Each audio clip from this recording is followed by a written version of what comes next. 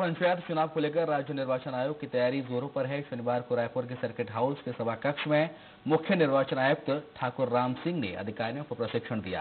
प्रशिक्षण के पहले सत्र में अधिनियमों और नियमों में संशोधन की, दूसरे सत्र में निर्वाचित व्यंग सपरीक्षक के बारे में तीसरे सत्र में ऑनलाइन नॉमिनेशन की जानकारी, चौथे सत्र में मतगणना प्रक्रिया, विशेषकर मतदान दल के लिए प्रशिक्षण और पाँचवें सत्र में व्यवहारिक प्रशिक्षण, एसआर ट्रेनरों को दी।